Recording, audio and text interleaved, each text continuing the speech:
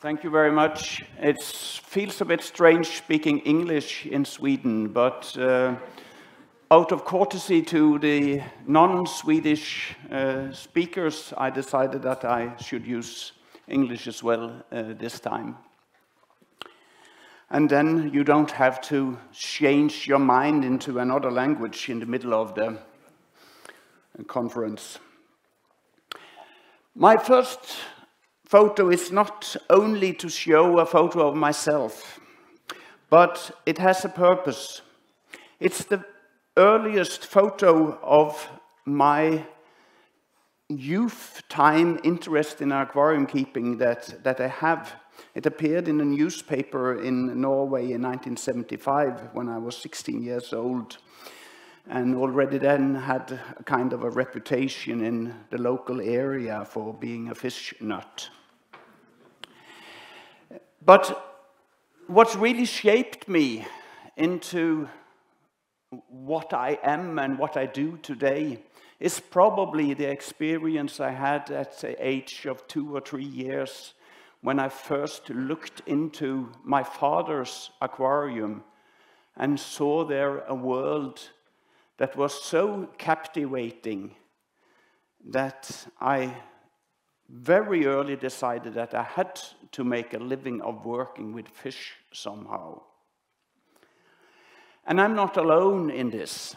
I would guess that there's quite a few of the people in the audience here who are now biologists or conservationists or whatever, who got some of the first interest in nature from aquarium keeping.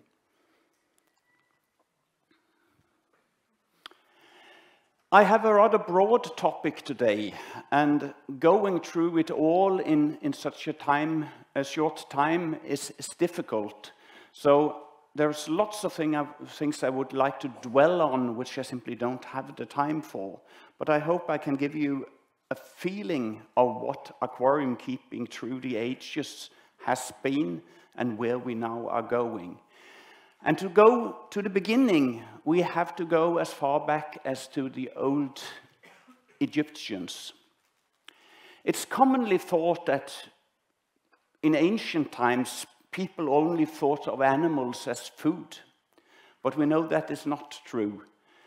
Particularly in Egypt, there was a huge interest in the varieties of animals and plants, and not least in fishes. In old uh, stone carvings in, in Egypt, you can find very accurate depictions of practically every single species of fish that ever was found in, in Egypt and neighboring countries. And what's more, we have evidence that they also looked on fish as something that was decorative, that's something that was nice to have in a garden, like this wall painting from the tomb of Nebamun in Thebes from 1,400 years before our time. We also know that the Romans had a big passion for fish. A lot of Roman gardens had fish ponds. This particular one is uh, located in Pompeii. It's one of many gardens full of fish ponds.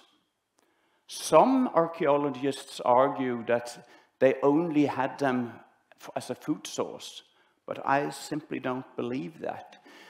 And we have plenty of, of written sources telling about the passion that wealthy Romans felt for the fish, particularly moray eels, where some writers describe how the favorite morays were adorned with jewels. I, I still don't know how they fixed jewels on fish, but somehow they did it. And it is, was a symbol of high status to have magnificent eels to show to your visitors and friends. But now we are getting to the part of fish keeping history which everyone more or less know. And that's what started in Asia, specifically in China, with the discovery of some more or less golden specimens of Carassius auratus. Well, frankly, we know today not exactly what species this is. Uh, Linnaeus gave it the name uh, Carassius auratus, but that in principle only applies to the golden variety and what we recognize as goldfish today. The, the, exact origin is disputed today. But it was the start of moving fish from garden ponds into vessels that could be held indoors. And that's where we are getting closer to, to modern aquarium keeping. In 1611, the first ship of goldfish came to uh, Lisbon in Portugal. And by uh, 1665, we know, according to the uh, naval officer Samuel Pepys, that goldfish undoubtedly had arrived in England.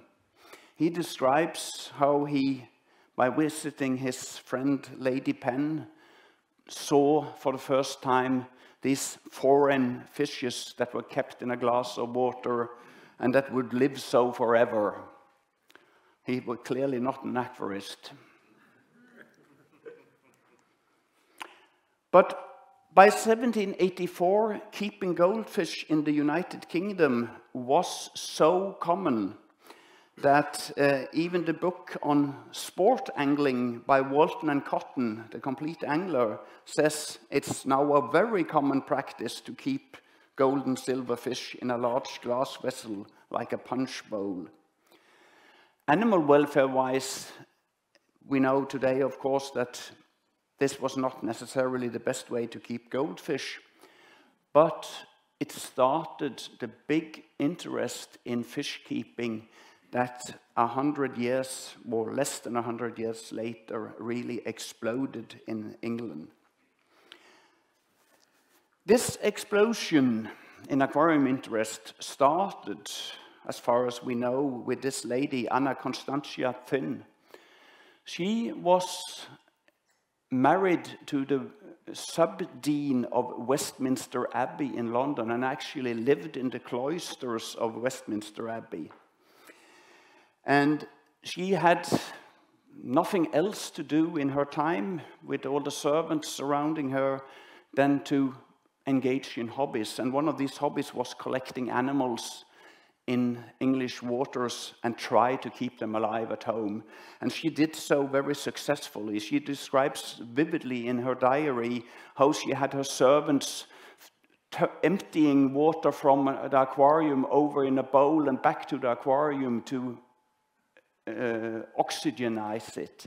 She had understood that if the water was staying still for too long, the animals wouldn't live. And out of lack of professional pumps and filtration, you use a servant.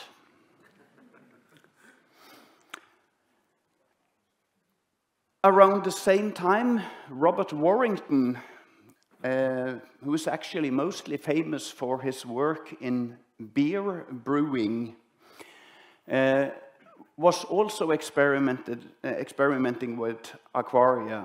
And uh, in 1850, he presented a paper to the Chemical Society of London, uh, the notice of observations on the adjustment of the relations between the animal and vegetable kingdoms by which the vital functions of both are permanently maintained. That wasn't the shortest article uh, uh, title I've read, but it describes very well what he has been doing. He had discovered that fishes that lived in a tank with nothing but fish had a tendency to die. But then when he added plants, they lived much longer. He added Vallisneria. But also then things started to deteriorate. And then he thought of, well, I, I add one more element, and he added snails. And then he more or less concluded that now they will live so forever, because now we have a stable system. These were the two really first people who engaged in what I would call modern aquarium keeping. But the man who took all the honor for it was this guy, Philip Henry Gosse. He was a priest, a reverend, and had a lot of contacts. He was a close friend of Charles Darwin, for instance. And he visited all these people who experimented with aquarium keeping. And he also did experiments himself. And in 1854, he published the very first book on aquarium keeping ever, The Aquarium and Unveiling of the Wonders of the Deep Sea quite an exaggeration because all the animals describes in this book are collected near shore uh, on the Devonshire coastline. But it was a very good description on how to keep marine native species in an aquarium and have them survive. And Gosse was also the very first to use the word aquarium. He actually said that the old way of describing these fish tanks as aquavivaria was far too complicated. So he suggested that we adopt the word aquarium. And so it was. Everyone followed. And since then, everyone knows what an aquarium is, even those who never have kept one. And it didn't take long. It actually took less than four years before the first aquarium shop in the world started near Regent's Park in London. And uh, in uh, 1857, the very first aquarium book in Germany was published. In 1861, the very first aquarium book in Sweden was published. Sweden was extremely early with aquarium literature. And it developed into what later has been described as the Victorian aquarium craze. In the Victorian era, if you had any importance in society, you had to have an aquarium. It got to the point where even educational books for young girls telling them how to be a good housewife had specific chapters on aquarium keeping because you couldn't possibly be a good housewife without maintaining an aquarium. But, but at this stage, everyone kept native fishes plus goldfish. But of course, there were opportunities. Britain was a big seafaring nation. And over the end of the 1800s, people started to ask people they knew who were sailing on ships, couldn't you bring something nice and exotic with you that I can keep in an aquarium? And they did so. Here's a very wonderful illustration from the Swedish aquarium magazine Akvariet in 1929. It's a bit later, but that shows a bit how seafarers may have been hunting for fish. This is Captain Boutin hunting guppy and Poecilia vivipara in South American, uh, in a South American dike. It's not quite the same way of hunting that modern aquarists do when they travel to South America, but they did their best to find something that could be kept in an aquarium. And if you look at where people were sailing at that time, this is actually a bit earlier. I, I couldn't find a, a map with uh, sea routes from, from the Victorian time, but I don't think they had changed a lot. We see that they visited North America, of course. They visited Africa, South America, India, uh, the Far East, uh, China, and Australia, at least the eastern part of Australia. And it's no surprise that the way fishes from the, all over the world started to come to Europe is very closely linked to where these ships were going. I have gone through one of the best sources of when fishes started to appear in Europe in aquarium keeping, Arnold, 1949. And you will see there that it's, it's very evident that the first big imports came from North America. And then South America followed very quickly, and South Asia, that is the Indian region. And the others exploded in importance as we came up in the 1900s, while North America has never become really important. We have more or less the same species recognized in the 1950s as we had around 1900. And that's, of course, because cold water fish never really took off as an interest. People want the strong, vivid colors of the tropics. Going to transport and logistics. Well, first, if we look more closely at how many species have been known through the ages, we saw that, can see that in 1880 there were only three species of exotic fishes known in Europe.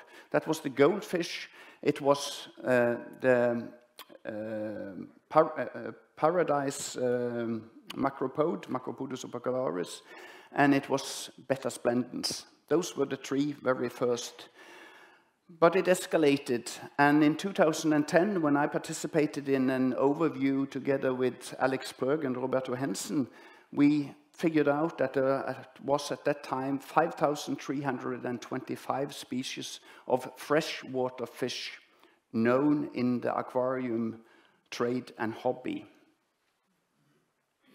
So it's quite a, a, a development over time. I think that the biggest justification for keeping aquaria is exactly the same thing that happened to me.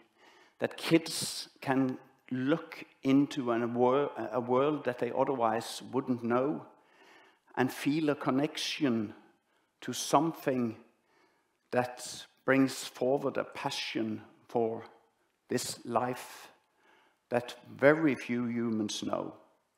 I would guess that if there were no aquarists, there would be considerably less interest in conservation of aquatic biotopes. And I think I have a couple of examples to prove that. But even the people who keep aquaria frequently disregard how dependent they are on a whole chain of people and processes the hobbyist is strongly linked not only to the shop where he buys his fish or the wholesaler and importer of fishes, but also to the people who actually catch the fish or breed them somewhere in the world. They all depend on each other. And as we heard in, in Scott Dowd's talk this morning, it's also, aquarium keeping also gives livelihoods, sometimes livelihoods in areas where there are very few alternatives. Fishes are transported today globally by airplanes. That was the big revolution in bringing fish to the markets.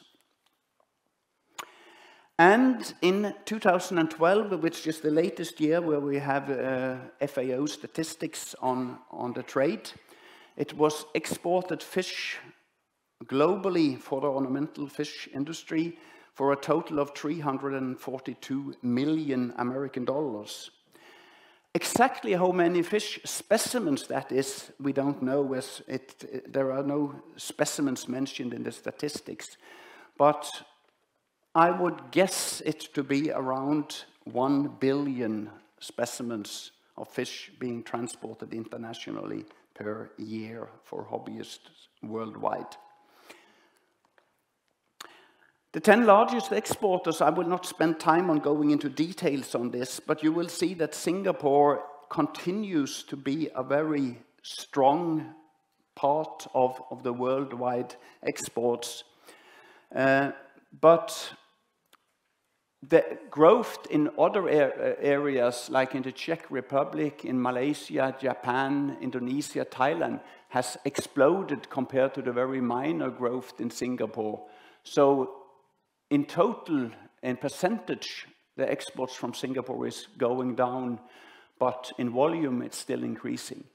This is a strange thing. Spain always comes up high in exports in the late last 10, 15 years, but that's a, undoubtedly a reporting mistake from Spanish authorities, as there are no aquarium fish exporters in Spain.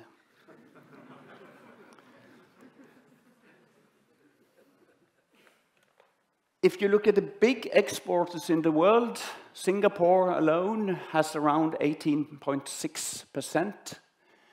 And the second largest is of, of those who really export fish is Japan.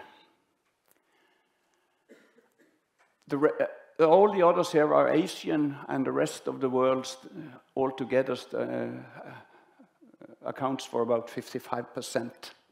In addition, there are some countries who produce a lot of fish but don't export. The USA is one good example that have an enormous production of fish in Florida only for the domestic market.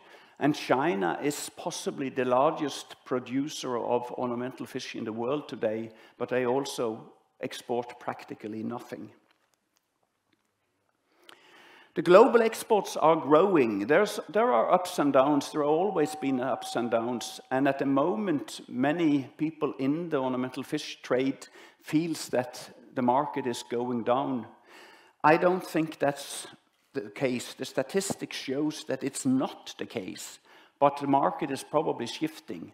I think that it's true that the market is going down in Europe, and probably in North America, but there's an explosion in aquarium interest in other parts of the world, like India, Sri Lanka, China, and probably also in South America. There's, much more interest in keeping fishes in Brazil now than there ever was, and that opens up for new interesting scenarios with the introduction of alien species. Largest importers, I, I, will not spend time on that as I see it, uh, the time is running. But I will say a little bit of where the fish come from. In the freshwater section, which is the big part of the industry, uh, we can safely say that 95% or more is captive bred, and then practically only captive bred ex situ in countries far away from the range states.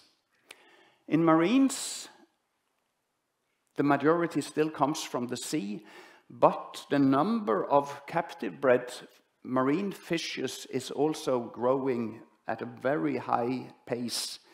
Uh, Nemo and the clown fishes have been mentioned earlier today, and uh, it's seems safe to assume that 90% of the clown fishes sold worldwide today are captive bred.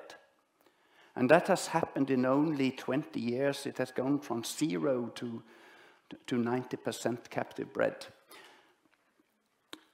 And this is not without problems.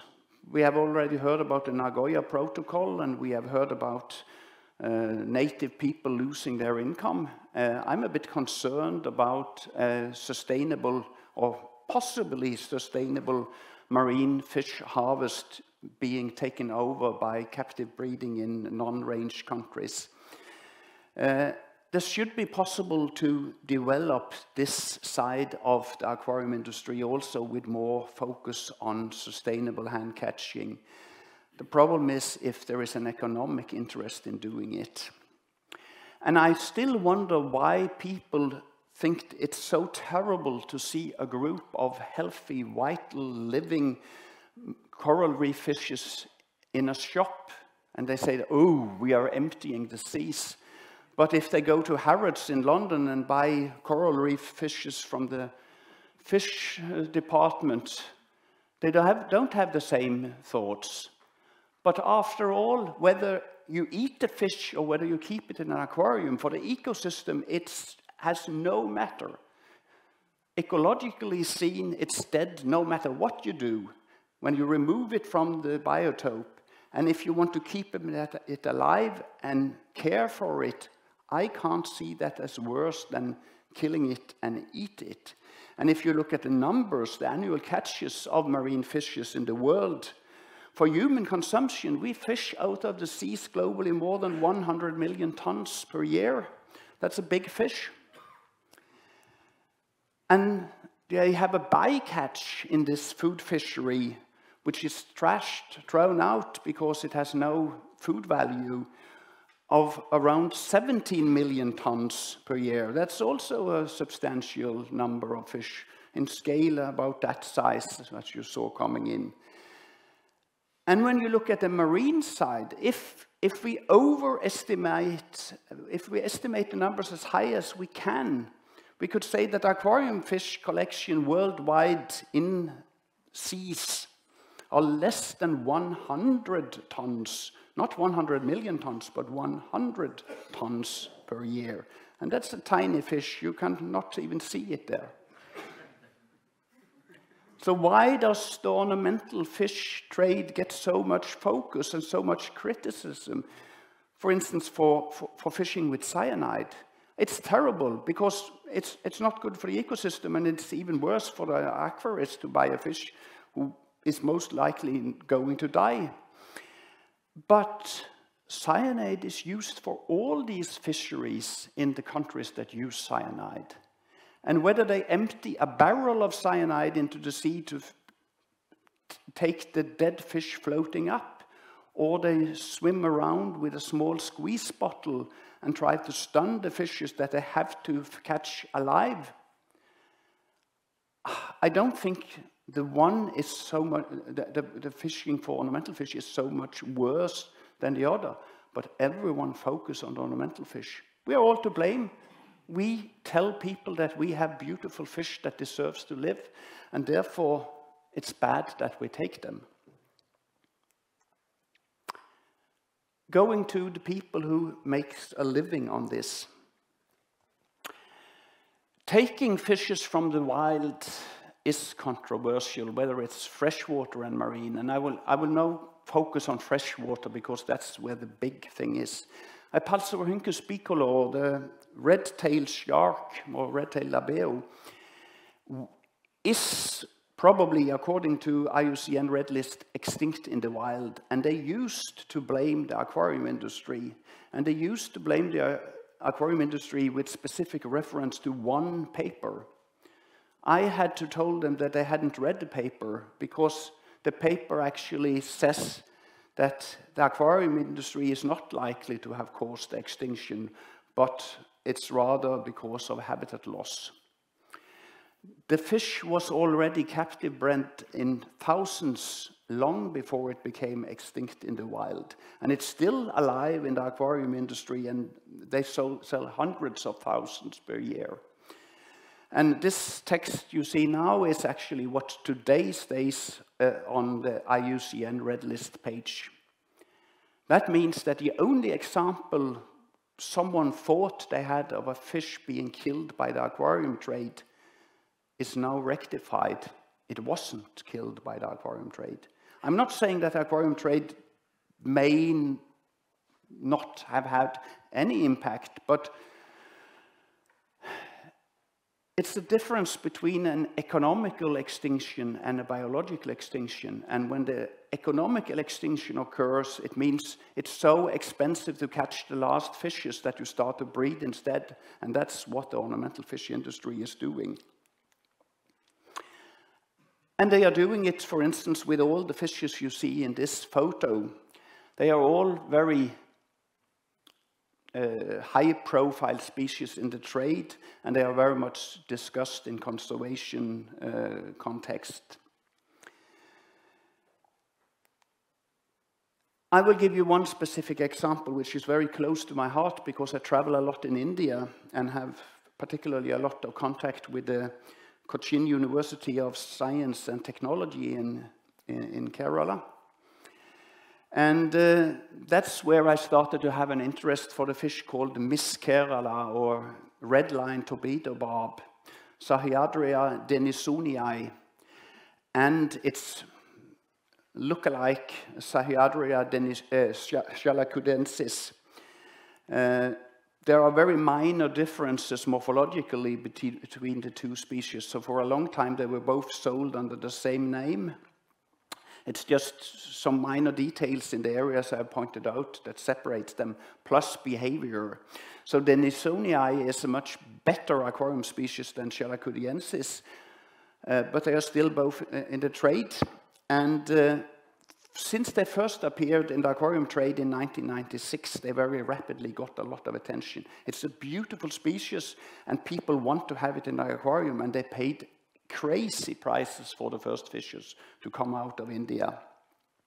And it didn't take long before it was recognized by IUCN as endangered, both Denisonii and Chalakkudiensis. And there was a lot of science being done on this. One of the first papers that really changed the attitude of the trade was this uh, paper on damsel in distress, where the aquarium industry is blamed for a species going close to extinction. But was it so? Well, before I follow that story, I have to tell you that the same scientists who published the paper you're looking at now was a few years later attacked by animal rights activists for killing a threatened fish themselves in the name of science. Uh, they had been taking out 1,000 specimens for, for research. And that's, of course, terrible if the species really is endangered. What happened is that the trade more or less stopped exporting it. Uh, it what became also extremely difficult to export from, from India. And when I was in India one year ago, one and a half year ago, I visited some 20 shops in Mumbai. And every shop in Mumbai now had this species, and they sold them for a price which is less than the wholesale price was when they could export them. So instead of exporting them, they are now catching a lot more specimens and selling them domestically because that's legal, that's no problem. And uh, when you go to see the biotopes, uh, the comes, as you could imagine, from Chalakudy River. And uh, meet the local people who go around there. Do they look at this as an ornamental fish that they should sell to the ornamental industry? Yes, many do but most don't. There are very few of the total population who are interested in catching fish for, for ornamental trade. The others catch them for something more basic human. They cook them and eat them. This is a food fish. It's, a, it's something everyone eats, and they have always eaten it. And only when it appeared in the international ornamental fish trade, the scientific world and the conservation world opened their eyes and saw, oh, here's a fish in peril. Today, this, this species continues to be eaten in Kerala, and it's sold in hundreds of thousands all over the world, but they are now captive bred in Indonesia. And they are making new color varieties of it that gets even more money and the poor people living in the Western Ghats in Kerala doesn't get a cent, except for those that they sell within India. Captive breeding of fishes goes on all over the world in basically these locations. And I will give you just a few examples of how these breeding facilities look by examples from guppy farms. Guppy is a fish that experienced aquarists normally think it's, it's very simple, it's very humble, but it's sold in millions of specimens per year. Here's a fish, guppy farm, guppy only in uh, Sri Lanka. Another, even larger, guppy farm in Sri Lanka. Guppy farm in Singapore. Guppy farm in the Negev desert in Israel no matter where you go in the areas where fish are produced, there will always be someone producing guppy as it's a bread and butter fish in the industry. And they are increasingly professional in handling all the issues surrounding this. Uh, all the export of these fishes is something that they put a lot of research into to make sure that once they have gone on the long flight tour, they arrive in good health. We have some challenging, challenges facing us in the coming century. It has been a lot of talks over why is aquarium keeping fading away in the minds of, of the young children of today. Is it because they are focused on internet games and iPods and uh, all kind of technological devices? Or are there other things behind? I think it's a complicated issue. But I think a very big reason is all the negative talk about keeping animals in captivity. And this is going everywhere where animals are being discussed. There is always a big fraction of people talking against animal keeping. CITES, where these photos are from, has more or less been hijacked by animal rights activists who want a ban on every single species in the world. They want to put everything on CITES, whether it's threatened or not because it's an effective way of reducing the trade. You all probably know CITES, so I will not go into detail on it, but point out that it's basically a convention regulating trade and not a conservation uh, tool. It's more trade than conservation. It's about making sure that, people, uh, that species that are important for trade continues to be available. Scleropages formosus was one of the very first species to go on CITES in 1975, directly on Appendix 1. And, uh, well, in a brief period, the Indonesian population was on Appendix 2, but that was soon changed. And they are now allowed to be traded if they are microchipped and come from certified farms. That's the only example of a CITES-listed species that continues to be sold in large numbers. And that's because of the big value of this single species. Here you see a, the development of trade in this species over the years. And they come mainly from farms in Singapore, Malaysia, and Indonesia. From 2000 to 2011, about 1 million specimens were sold. And because this is a high value species, it's very much money involved. But every single species is micro-shipped and from a certified farm. Now, CITES is talking about stingrays. That may happen that stingrays get on, on CITES, but there is no scientific indication even that they are threatened because of international trade. All the three big export countries, Peru, Brazil, and Colombia, have export quotas on stingrays, and not one single country export as much as they have quotas for. Colombia, who is really fighting to get uh, freshwater stingrays on CITES, have yearly quotas of 23,900 specimens, and on average, they export 3,500 per year. So why list them on CITES to regulate trade when you already have an export quota five times higher than the actual trade going on? Another issue emerging, biosecurity, animal health. I'm speeding up a little bit because I've been told so. Uh, but these are issues that the industry is aware of. There's more and more biosecurity in place in fish breeding facilities all over the world. And you heard Scott talking today of veterinarians coming to Barcelos to help also in, in uh, improving the fish health from Rio Negro.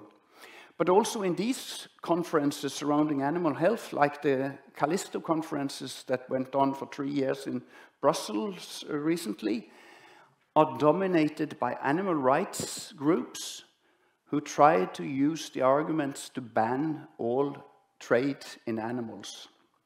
Invasive alien species, um, why didn't it react? You know the water hyacinth, but there are also lots of fishes that are introduced worldwide. Uh, I've looked at FishBase and concluded that there were more than 865 species that have been registered introduced outside the natural distribution area, and 435 of these are known in the ornamental aquatic trade. So we have to be careful.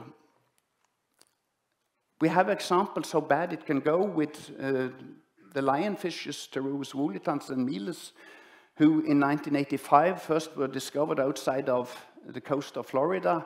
In 95, it had spread a little bit. 2005, it had spread a lot. 2007, even more.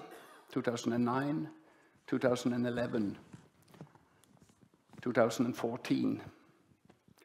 It's not good for an industry to see this without taking reactions. And the ornamental fish industry is taking reactions. Actually, high up in the CBD secretariat, it's recognized that the ornamental fish industry is one of the most proactive industries on the problems with invasive species. And we have to be. There are no other industry moving that many species across the world as what we are. Animal welfare, the well-being of animals, it refers to the state of the animal, how it's treated, and uh, how we can assure that it's living a good life in captivity. But the future of the aquarium hobby and trade does not be, depend on us being kind to animals. It depends on how the people in general react to the propaganda from people who want to ban all keeping of animals for whatever purpose. And PETA is very high up in this as one of the animal rights organizations that has openly said that they will ban aquarium keeping. Fish in tanks, no thanks. The founder of PETA, Ingrid Newkirk, has in an interview told that one day we would like an end to pet shops and the breeding of animals. Dogs would pursue their natural lives in the wild.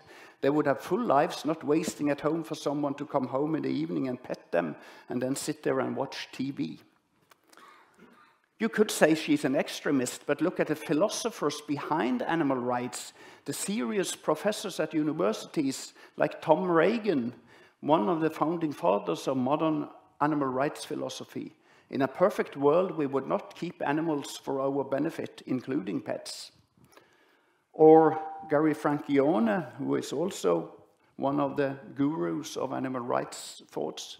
Even if we could guarantee that all dogs would have homes as loving as the one that we provide, we would not hesitate for a second to bring the whole institution of pet ownership to an end. In Europe, many of these animal rights groups have organized under the umbrella uh, Eurogroup for Animals, which before the European elections, parliament elections in 2014, started a campaign saying putting animal welfare at the heart. And that's good. Everyone wants better animal welfare. But that's not what Eurogroup for Animals want. Not only. They actually got extremely good responses. 318 candidates to the European Parliament signed an agreement where they pledged to work to reduce the number of species and animals being kept as exotic pets. And if you read the documentation behind Eurogroup for Animals campaign, exotic pets are aquarium fish, reptiles, amphibians, birds, and mammals everything which is not domesticated. And we have 318 parliament candidates in the EU who have pledged to work to reduce this keeping of animals. Animal rights people use every single argument that they possibly can find against animal keeping. Animal trade is linked to terrorism and to drug trafficking and to zoonosis and to sustainability and animal health and husbandry, etc., etc., etc. We must not be so stupid that we believe this is about animal welfare. It's about ending a way of contact between humans and nature. We are seeing a movement building a barrier between humans and animals. I don't think the animal rights organizations care about animal species. For them, it's an individual is an individual no matter what species. And they do not seem to bother if a species goes extinct as long as the animals are living a good life until they go extinct. But they love to use the conservation argument as a tool to reduce human uh, interaction with animals. So, to conclude, I've been asked many times, and last when I was in, in India giving a talk, why are you so passionate about this? Do you really love fish that much? No. I love the people who are influenced by fish keeping that much. And I think we cannot afford to lose the connection between animals, in this case fish, and humans. A lot of the future of the uh, nature, natural world depends on people having a passion for animals. Thank you.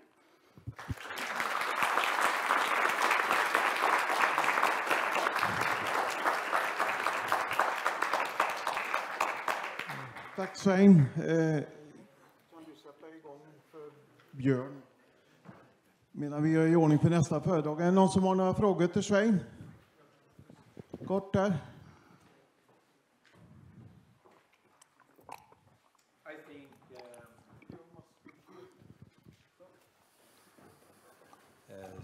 Since you were, were quite busy speaking about animal rights and animal welfare in the last part, which is very important, mm. I think it would just be very good for everyone to know the difference between animal rights and animal welfare. And I think you can clarify this in just half a minute. Yeah.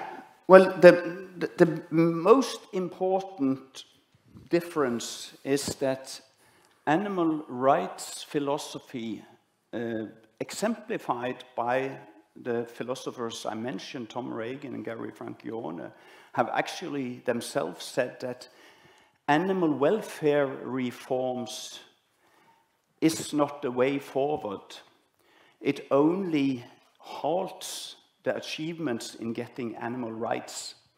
In other words, if they can see more cruelty in the keeping of animal, that's good because then they much easier get their, uh, the, the, public on their side. Uh, animal rights is about assigning legal rights to animals. There have already been court cases in Argentina where they have tried, animal rights groups have pushed for giving human rights to orangutans in the Buenos Aires Zoo so that uh, the zoo would have to release them into the wild as, as uh, non-human animal with rights of its own to have a free life made on its own decision. Uh, and like I said, uh, I don't think they care about what arguments are used against animal keeping. They just want to make sure that there is no contact between humans and animals unless the animal uses it, uh, itself. No one is allowed to own an animal anymore. And those are, of course, not uh, um, compatible with what we are doing. And, and, and, and, and uh, while animal welfare people the classical ones normally accept pets. They just want rules to be followed and so on. But, but uh, um, what I mean is animal rights people want us to mix them up. Oh, uh, absolutely. Oh, absolutely. This is how they're using their power uh, politically in the European community. And yep. it's very important for us to always make a difference between them. Yep. It is, and, and in a sense, I could have given a full talk on, on animal rights issues, but then I had to deviate a lot away from fishes because they haven't worked that much with fishes yet, but they, they are getting there quite quickly. At the moment, it's easier to target reptiles and amphibians in pet keeping, and that's where the focus is now. But they will move on to fishes much more than what they already have done. Uh, we have to stop to continue. Svein are here afterwards. Uh, You're all welcome to talk with me yeah. in the breaks. Yeah. Thank you, Svein. Thank you.